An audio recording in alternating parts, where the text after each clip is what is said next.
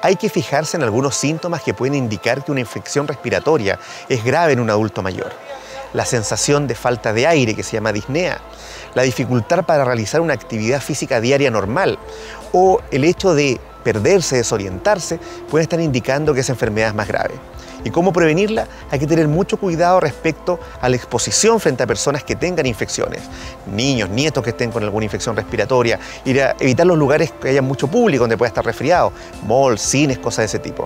Así que con esas recomendaciones podemos evitar estas situaciones más graves.